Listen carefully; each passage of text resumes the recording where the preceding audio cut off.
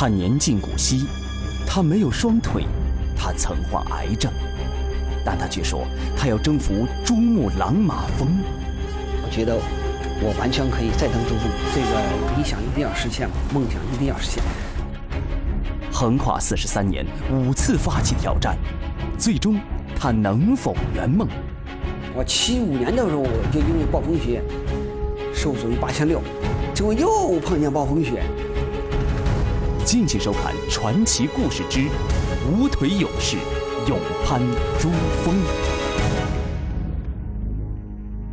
各位观众，大家好，欢迎您收看传奇故事，我是主播金飞。人的一生怎么活着才算是值得呢？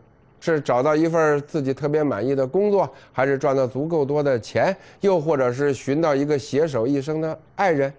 哎，我想每个人的内心都会有独独属于自己的那个答案。但是对于今年已经六十九岁的夏伯渝来说，他这辈子都在跟一样东西较劲儿，都在为一个目标奋斗，那就是攀登珠穆朗玛峰。从一九七五年至今，他一共试着攀登了五次珠峰。您可能会说了，现如今攀珠峰的人已经不再是那么凤毛麟角了。今天为什么要专门说他呢？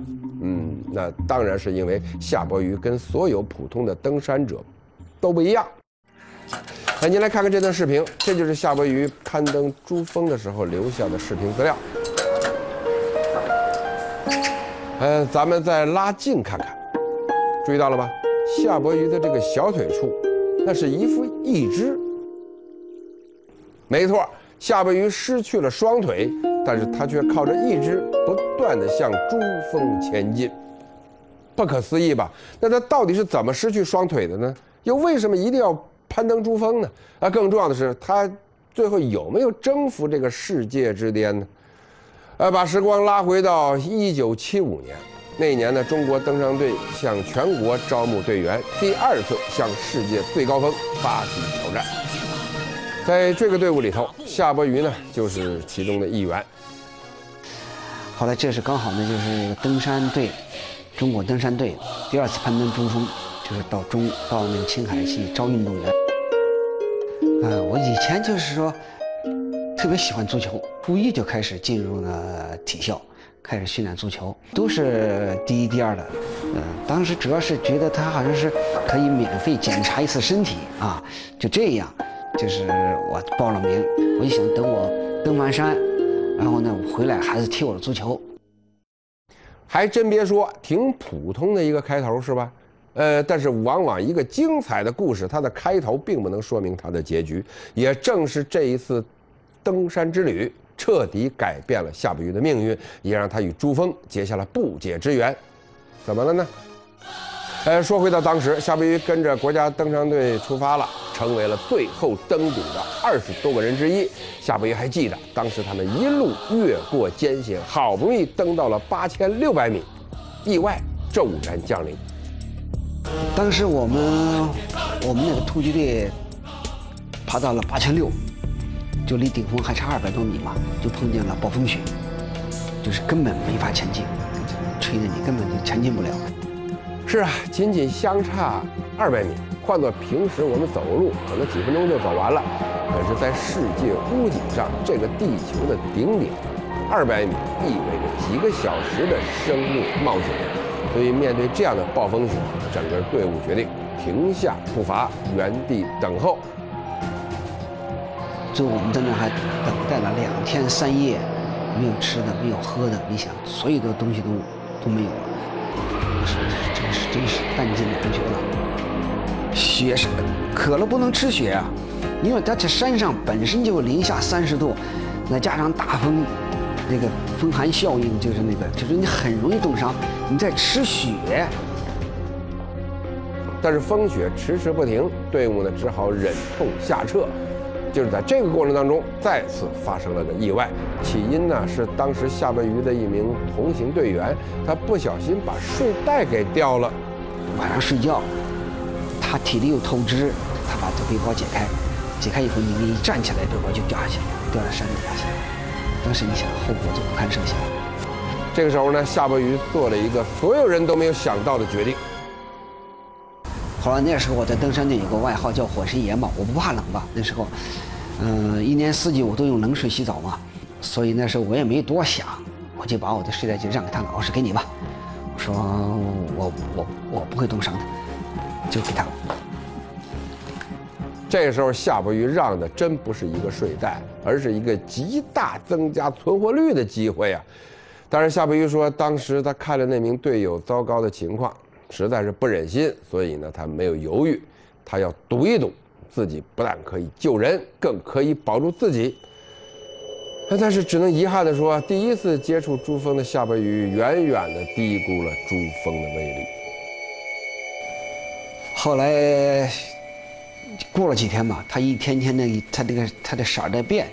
刚开始就是跟正常皮肤一样，是吧？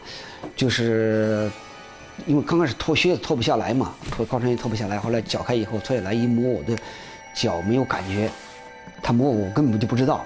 而且他们也没有温度，冰凉的也没有温度，我也动不了。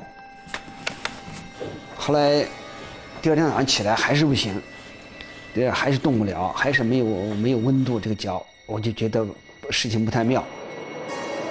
再之后，夏伯渝两只小腿的情况继续恶化。后来慢慢的，嗯，过了几天以后，这个色就开始变了，就就变成紫红色。变成粉红色、紫红色，变成黑色，这样知道肯定是不行了。是的，夏伯渝的两只脚以及部分小腿完全坏死了，为了保命，只能截肢。这对于夏伯渝来说，更像是整个生命的光一下子都熄灭了。就是说，你看我那时候才二十几岁嘛，你想就没有了脚，就是觉得那时候对假肢也没有什么印象。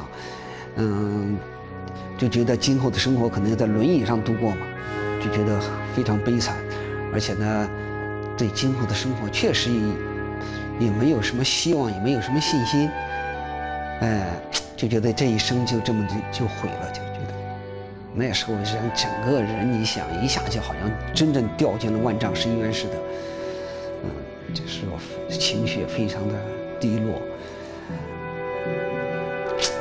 那时候确实，哎，怎么说呢？就是非常伤心、也非常悲伤的时候，真是。但是命运，它也是多变的，这取决于你的心态。只要有心，那么谷底就有可能再次来到顶峰。哎，时间来到一九七六年，距离夏伯渝截肢呢正好一年，有个消息传来了。后来就有一个外国的假肢专家到中国来讲学，就传授这做假肢的经验。后来，他看了我情况，他要跟我说，他说只要那个，呃，他说你安上假肢，你不但可以像正常一样的生活，你还可以，你还可以再登山。不难想象这句话给夏伯渝带来的震撼程度。只要有了一只，他不仅能够站起来，还能继续登山。还直到这一刻，夏伯渝才敢再次小心翼翼地正视自己内心的那份对于登山的热爱。而且通过这次登山呢，我也觉得。我也喜欢上了登山，当然我没跟别人说。我想肯定，别人会认为我是一种痴心妄想。这没有脚还登什么山呀？所以了，这位专家说他还能够继续这份热爱，怎么能够让他不激动万分呢？哎，就这样，我就那，我听到这句话，我就突然我就就好像见到了光明似的。很快，夏伯渝呢就带着一只再一次的站了起来。第一步，夏伯渝决定要更多的了解登山这项运动，他来到了登山协会工作。退休之前，在中国登山协会工作嘛，主要在办公室整理档案。知识了解够了，就能够开始登山了吗？啊，真没那么容易。一开始，夏伯渝遭遇了种种的困难。我穿假肢的历程就验证了整个中国这个假肢发展的整个整个历程。你想那个时候。呃，所有的承重都在那个脚底下，脚底下那那点吧，根本就是不经磨，也不经踩，所以你特别疼，就经常磨破。磨破以后呢，它又不像正常皮肤，几天就可以好。怎么办呢？放弃啊！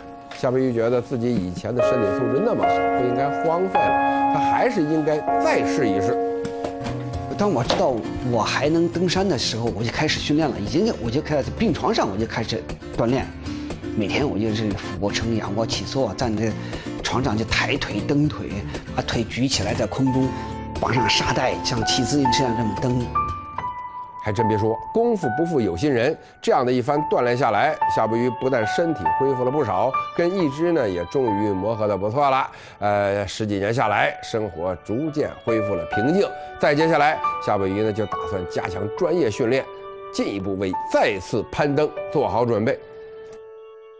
但是大家或许怎么都想不到，一九九六年，夏伯渝居然被查出患上了癌症。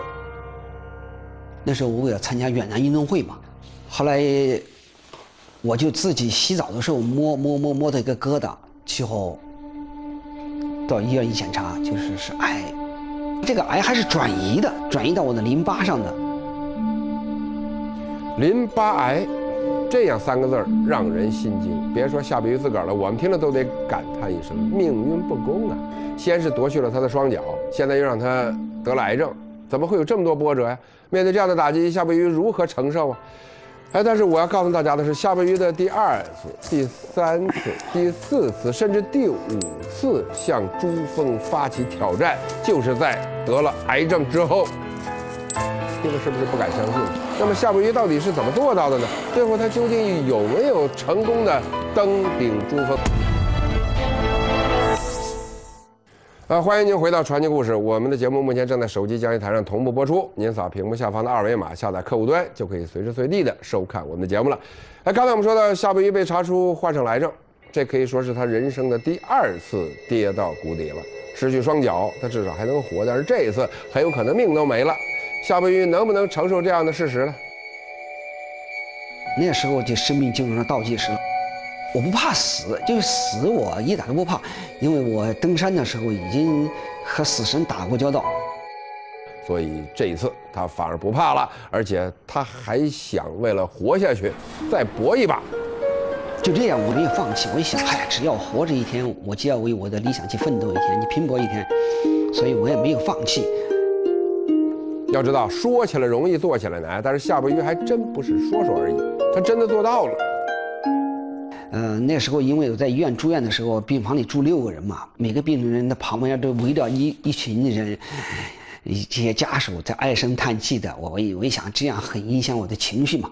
后来我就不住院，我就骑车回家。第二天走，我再骑车去做做放疗。下午他一一上午就做，做完以后下午我就骑车又回家。事情到这儿呢，我们真得评价夏伯渝一句，真的是好样的。生而为人，身体或许对自然界来说是脆弱的，但是心智却可以强大无比。夏伯渝就是这样，截肢之后他不曾放弃，坚持锻炼，期望可以再度登山。患癌之后，他也不曾放弃，努力挽救着自己的生命。人呐，不论是顺境还是逆境，还真就是需要这么一股不认输的劲儿。更奇妙的是，有时候这么一股劲儿，他还真就能够打败死神。几年甚至几十年下来，夏伯渝非但没有被癌症打倒，反而整个人还容光焕发了。就这样，嗯，二十年过去了，你看我发现这个癌的时候是九六年嘛，九六年，二十年过去了，这个癌症也没有复发。哎，我后来我一想，这个很多这些病啊。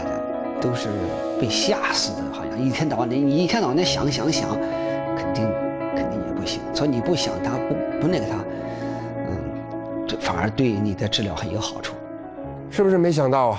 所以说啊，人生有时候真的是自个儿拼出来的。既然身体还是棒棒的，那心头的那份念想就得重新拾回来。他每天早上五点钟起床开始力量训练，包括负重十公斤的沙袋下蹲。一百五十个引体向上，六百个俯卧撑，二百四十个仰卧起坐，几十年下来，夏伯渝一天都不耽误。除此之外，他还每隔两天就去爬山。四十年来，你要每天都要坚持同样的训练，这是最难、最难克服的事情。时间来到二零一二年，夏伯渝认为自己已经准备好了，他要去登山了。一二年的时候，我就登了穆斯塔格，穆斯塔格七千七千五百四十六码。但是这个并不是夏伯渝的最终目标，那个属于他的珠峰，他从来未敢忘记。我觉得我完全可以再登珠峰。这个理想一定要实现嘛，梦想一定要实现。还是那句话，说起来容易，做起来难呐。我们四肢健全的人攀登珠穆朗玛峰还极度不容易，更何况夏伯渝的身体呢？他能行吗？而事实上，包括家人、朋友以及许多关注着夏贝鱼的人都发出了这么个疑问。那更重要的是，一只真的可以攀登那样的高难度的山峰吗？啊，关于这一点嘛，夏贝鱼表示他当然是考虑到了，所以他的义肢呢是特别定制的。这个就是我那个登冰雪用的假肢，假肢公司给我特制的，主要就是，这就是这一副假肢，它就是把这个管安到这上面，然后上面就是这个枪，然后安到这儿，就是专门走冰雪的，你看，它就这样，专门就是走冰雪。有了硬件，夏伯渝决心就来了。很快，他用行动给了大家一个答案。二零一四年，时隔三十九年，夏伯渝第二次向珠峰发起挑战。但遗憾的是，这次夏伯渝刚刚到达珠峰大本营，一个噩耗传来了。一四年我就开始去登珠峰，结果呢，到了大本营以后呢，我前面开路的十六个下巴就是遇见雪崩嘛，就全部葬身在雪崩之中。结果尼泊尔政府就取消了当年登珠峰的活动，结果我没登成。这次没成，夏伯渝不甘心。第二年，也就是二零一五年，他又来到了珠峰大本营。但是，就像老天专门跟夏伯渝开玩笑似的，又来意外了，而且还相当的惊险。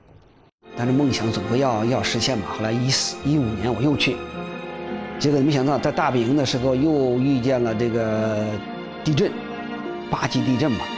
幸免遇难吧。当时大本营死了二十八个人，只能说夏伯渝当时是幸运的，没受什么伤。但是这一年珠峰肯定是登不成了。于是，二零一六年他又来了。那，这段视频就是夏伯渝二零一六年攀登珠峰的时候拍摄的。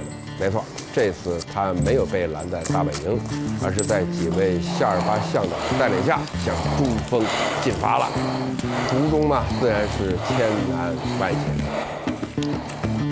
第一个难关就是恐怖冰川嘛，因为它有很多冰裂缝，那个冰裂缝的话，它就有架梯子嘛。那个梯子，你想它，它就一尺宽左右，你踩在上面的话，但是我也没没有感觉梯子这么窄一点它有四五米长。它也不是很很牢固的东西，它不是固定不动的，我就必须每一步我都踩踩在上面以后呢，我都等半天，等它哎，却不动了，而而且呢，呃，我稳了以后呢，我才敢迈第二步。但所幸的是，再多的困难，夏威夷都坚持下来了。不得不说，这绝对是一份高于常人的毅力。最后，他终于到达了八千七百五十米，距离真正的珠峰仅百米之遥。那么这次夏贝鱼上去了吗？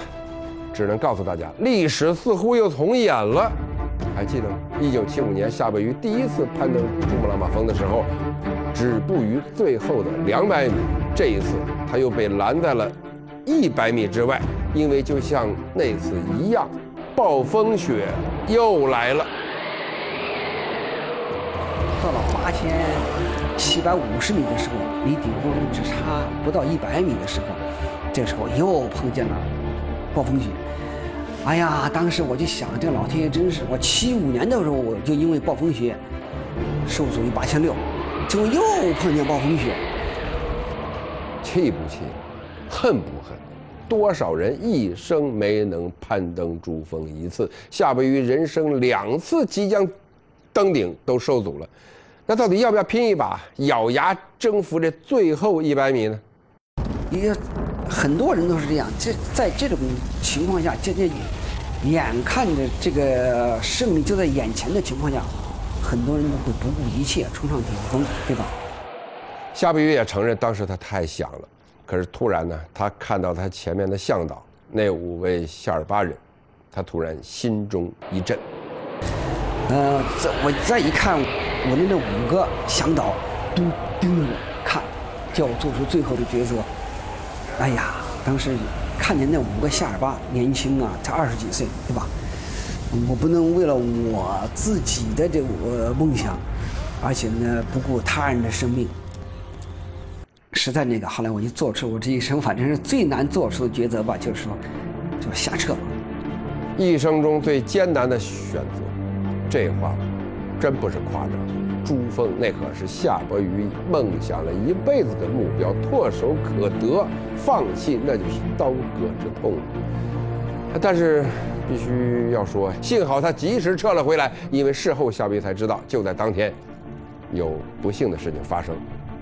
后来我下来以后，我才，我才知道了，就在这几天里头，有六个人死于这个高度。估计大家都想问夏威夷一句：遗憾吗？可惜吗？哎，要知道，这时候夏威夷已经六十七岁了，再过几年，那就是。古稀之年了，这回上不去，很有可能一生再也上不去了。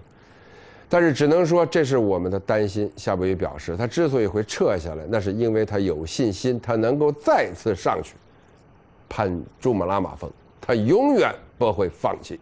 不管碰见任何情况下，我不能放弃我的目标，我一定要达到我的目标，一定要实现我的梦想。接下来要告诉大家的就是真正的结局了。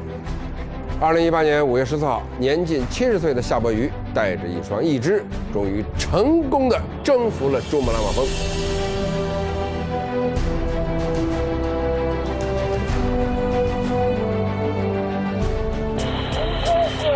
二零一八年四月十四号，八点三十七分，我终于。站在了我梦想的？四十一年的顶峰的八百十八的顶峰。可能很多人都会感叹，夏伯渝到底是怎么做到的？呃，我想其中的种种，并不是几句话或者几行字就能够描绘的。只有真正经历过的人，才能够懂得付出的意义；只有最后登上顶峰的人，才能够感受圆梦的喜悦。而对于自己传奇般的一生，夏伯渝只总结了？两个字儿。那就是目标。现在的年轻人 怎么说呢？就是工作压力比较大啊，就是，但是呢，我也就是希望他们每一个年轻人，就是说，呃，有一个理想，有一个奋斗的目标。为了这个目标呢，就是说去努力去奋斗。呃，不管任碰碰到任何就是困难或者。或者阻力的情况下，不要放弃。是的，目标，并且为了目标而奋斗而坚持，就像夏伯渝那样，为了珠峰，他失去了双脚，失去了爱好与职业，但是他没有放弃，撑下来了，所以到达了世界之巅。或许有人会说，夏伯渝太不一般了，他几乎拥有太强的勇气，我们跟他没法比呀。但是事实上呢？我们再来看看夏伯渝，他其实也就是个普普通通的六旬老人。他之所以会成功，并不是一夕之间的盲目追逐，他真正靠的其实是之前那四十年不曾放弃的日复一日的锻炼和那颗持之以恒的心。这两样，我想我们谁都不缺，就看愿不愿意行动起来了，去为自己的人生。